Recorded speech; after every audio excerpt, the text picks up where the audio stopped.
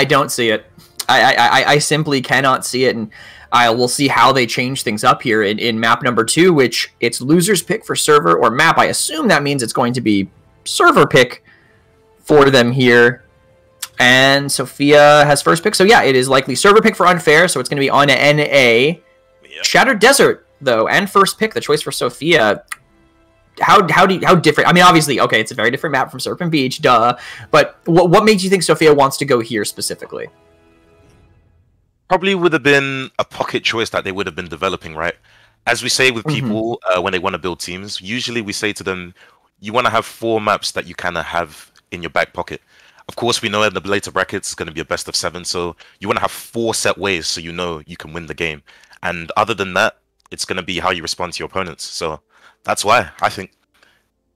Okay, yeah. I mean, pocket pick they can pull out here, and obviously they are comfortable with Cruncy on Raum. Pick Raum first, still, it's still going to be good. But unfair, Grover also great here as well. And this is, I think, one of Azaan's better maps. At least when I was playing him, this always felt like a map where I could, I could pick him over any other tank. His mobility is is great. His poke is fantastic on a map that is, is as wide as this one is. But Sophia are hard committing to this to this aggressive playstyle with Furia now taken instead of Corvus that ult can can really open the doors on a map where you really can't. You can kite only so far, but you're getting poked the whole time. Yep.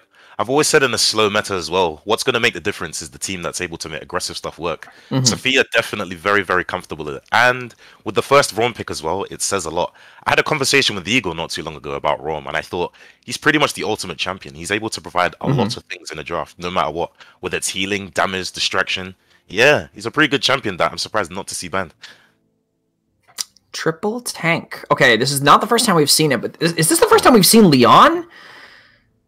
No. Is this... So, yeah. So, okay, Crimes okay. Against Humanity, the Russian team, actually That's played right. Lian yesterday. Yes. Oh no, I think it was the other way around. Not sure. The names switched around a lot, but it was something yeah, we did have the draft yeah. names wrong like fifty percent of the time yeah. early yesterday, so I uh, totally understand. Yeah, thank you very much. But Ooh, triple DPS versus triple tank, that I feel like the Tyra is the real game changer in that triple DPS comp, right? Like just three DPS, maybe you can't burn through three tanks, but if you mark one and focus him down, that could be that could be the difference maker. Tyra's a very much wouldn't like to say a complete staple, but she's very, very good in triple DPS comps because mm-hmm. she gives you the utility you need. If you don't have enough damage, Tyra gives you the damage. If you need to stop the point, she's got fire. If you need to mark someone and know where someone is at all time, get down a big tank where people are playing multiple, which is what Sophia mm-hmm. doing. You've got the utility there. So Tyra, very good pick for unfair.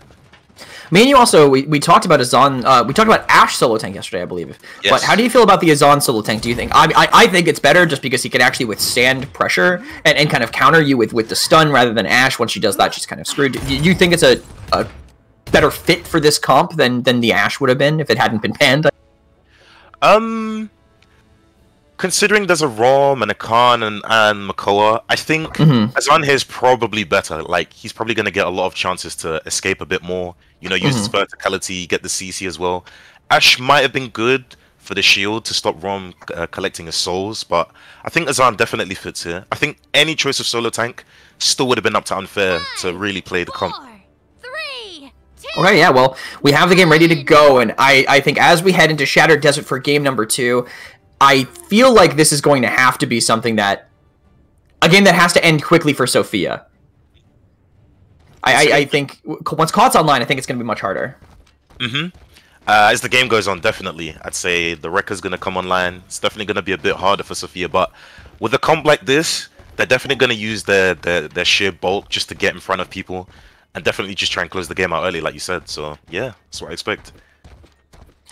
Yeah, we'll see. Oh, triple wrecker, by the way.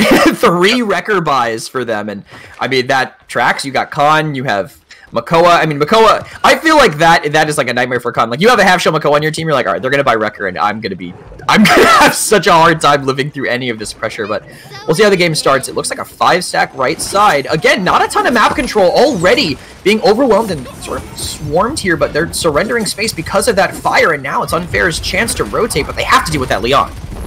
Yep, just as I said, the fire is going to be really huge into those tanks.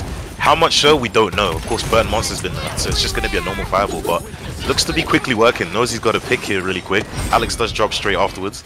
Ah, and we keep going. Eagle's got another pick on Pixel to grade.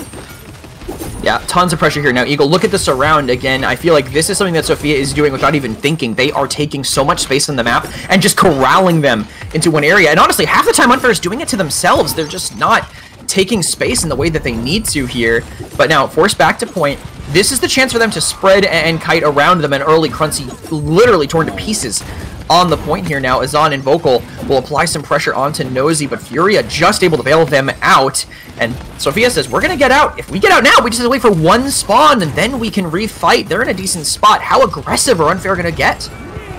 I'm not too sure here. I think Sophia wanted the point a bit too much. I saw Crunchy not get behind cover there. Um, very interesting, but very good of them to recognize that. They got back very quickly, and uh, they stayed away from not dying too much. But now it looks like it's working in their favor. They got two more quick picks now coming back to this, and it looks like they're going to get the point. Azaan jumped onto the point and hit a touch, but it looks like it's not going to be enough. Again, the sheer pressure of the tanks and their big HP is just going to force everyone to go back, which is going to be a first point to Sophia. Also, a particularly unfortunate whirlwind from Bones there. I think they tried to go for some tried to save them, but it was a Makoa hook that got them away, so Bones couldn't commit all the way to save them here. Some also traded, actually. Tyra Crossfire put through with Rommel trying to slow him down, but it still is enough for Unfair to take advantage and start pushing. Nosy maybe overextending for this here, but Avaleo, he's just, Nosy's just standing in the corner. Avaleo's like, he's to strafe right like a normal person, but it doesn't happen. He kites all through it able to live way longer than he needs to, and that might let them apply a little bit more pressure with the Ancient Rage coming out now. Cruncy trading for Pixel and Unfair. They could have gotten some space, but just not able to with the cart moving basically this whole time. You can tell there was some really good communication going there. It looked like McCall was just isolated there, ready for four people to kill him, but that all kept him in the fight, and somehow he's managed to get Pixel isolated and he's dropped him, and it's allowed his team to keep going. So now they got the momentum back up, and they've got the red team back in spawn now. It's a really good position to be in as they push the payload around the corner into the final choke. The, the, way you worded that, I thought you said that in spawn was a really good position to be in, but a better position is diving in off this. They use the Midnight, they use the Whirlwind, they chase so deep here, and Invocal is delaying two kills right now, pulling everyone away in the back line. That is a straight wipe onto that Sophia was... from Unfair, perfectly timed. Great play from them. As, uh, as you see some teams that are not so experienced, they tend to just spread themselves out and not really go and focus a kill first. As you saw there, red team came out of spawn and they instantly knew what to do. They chose their target and snowballed from there and got the clean wipe. Yeah, and, but the thing is, they can't do that again, right? That was a that was a two ults spent thing here. And now Hook, wait, wait, wait, he overpowered him out of the. That seems a little wow. excessive, but it worked. Hook pistol pixel just to make him stand still for the overpower to come in. That's a very early pick, and now Crossfire trying to slow this down, and Vocal hanging on by a thread up front. Huge peel from that Tyra, something I didn't think I'd ever say to keep them going. The fire might slow it down again, but Furia ult will be what opens the door, and Vocal hooked in. I think the rest of them are going to crumple under this tank pressure now. They really wanted to hold on for this defense, but the ults were just too strong. Still a big spend from Sophia for that. It's very interesting to see. I think now that I'm looking at their three tank comp, it's not necessarily that they tried to pick three comps. I think they're just using Khan as a big DPS. Where we mm mentioned sometimes that Khan is sometimes lackluster without his ult. It kind of doesn't matter now because he's got two big forces he can use. So Khan's free to just do what he likes. He can walk around, shoot, and when he's got the ult, even if he misses, it doesn't matter. He's got four more big ults from the rest of his team. So very good there.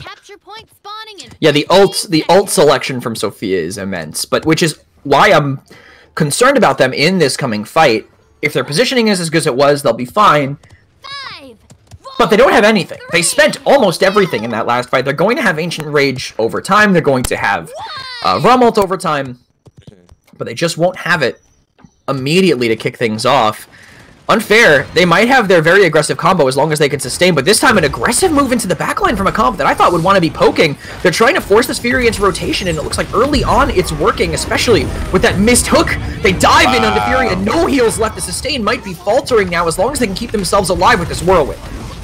Great target focus there. As you saw, they went straight for the Furia. The one thing keeping their comp up, regardless of their big HPs. And uh, it seems to be working.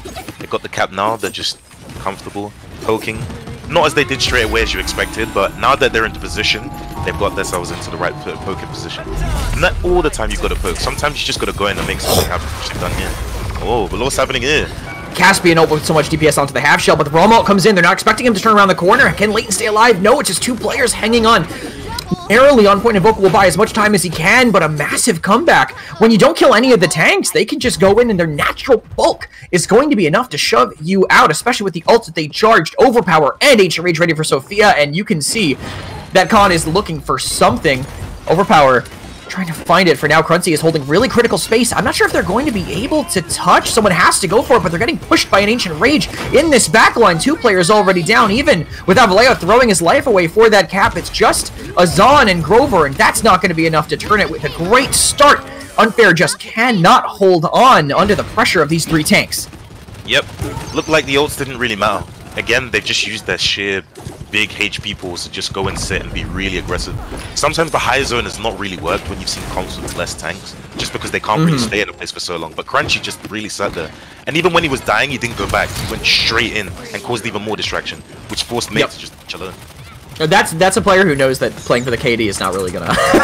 you don't need to play for the you don't need to play yep. for the KD at this point, right? But they they feel like they are under so much duress, they feel like the crossfire has to come out just to make the tanks back up for two seconds. That's how you know that Sophia is, is making them feel the burn here under all this. But Caspian now getting aggressive on the flank side, but forced away as they play back. But a miracle axe from Bones slipping through that crack does find Nosy, but they don't care. They're going to stay in. They know that they can. Finally, they disengage once that shield breaks. This hook could have maybe let them stay, but disengaging, going all the way out after one death, knowing they have the disadvantage, Sophia always leaves. But this time it might not work out for them with this aggressive play coming back from Unfair. Again, it looked like Crunchy just got bit, a, a bit caught out again. Seen it twice now, I think. He could have gone all the way back just a bit more, but it seems like, again, he's really trying to do his job and not play for his KD mm -hmm. there. It got them the space that they need, and it protected the rest of the team. But look, seems to have worked out. They've got five together again, which is what you want to retake. Yeah, they waste so little time because they all get out so quickly here. Now, Half Shell, every time they start walking, I feel like Unfair pops an ult. This time it's going to be two with Caspian doing all that damage onto Crunchy. That Makoa wow. just disappears. And they can't get much more out of it, but they... Because Sophia once again disengaged, and Avaleo a little greedy. Now it's an even fight. Now, even after those ults, it might not be too bad. Overpower coming in as well, and they overextended maybe to try to save him. That Caspian is so low with no heals. Leighton might be the savior that they need as Invocal feeds into the backline. Wow. I think Caspian's gonna have to be a character I also pick as well. That that I wasn't expecting that at all from a flank character where he was just able to shred home like that. It's pretty crazy and it, it adds to the comp uh, that they've got there, but it doesn't seem to be enough. Again, it still seems like the pressure is just way too much for them to handle with the three tanks. Yeah, they, they can't really get through. It has to be the Tyra who's dead right now, so a lot of, of free space here. I guarantee, I feel like a Crossfire is going to come out here to try to get them this defense, but it's going to be the Whirlwind first. Romalt comes out. Can they live through it? Here comes the Crossfire as the Enlightenment from the side doesn't find much of anything. If Ancient Rage in the back line, he's in the fire. Quincy is just getting destroyed right now, but the tanks, they survived through so much. It's Invocal and Bones, the last two remaining. How long can Invocal survive? Well, not very long, apparently, and it's all down to Bones just to try to delay. No spawns are coming in. Sophia close out a 8-0 in winners semis, guaranteeing their spot in winners finals. This game, wow. That is really a big thing to watch, I think, for anybody in the stream and for any other team watching. It seems to be like the play that you're going to have to get your big tanks. Of course, I hmm. mentioned mm. Raum being free was a big interesting one to me, but it seems like you enabled not just flank characters to play in the first game, but also big tanks to also go in and do their thing too. Mm-hmm. And it looked to be too much pressure for the red team. I, I, I saw someone in chat say this, and I didn't want to. I wanted to see how this one went before I commented on it. But someone mentioned about why did they ban Corvus and not Raum? And I feel like there are char- multiple characters who can do what Corvus does, right? But Raum is Raum, and you yep. can you know maybe play a Zon like like him, but no one has the AoE healing. No one has that same like backline sustained pressure. I think they just had to ban him. They just yeah. let they let them they let them have it, and they if you win the game that fast, it's just not you're not going to be able to turn it around against that level of sustain both individually and for the team.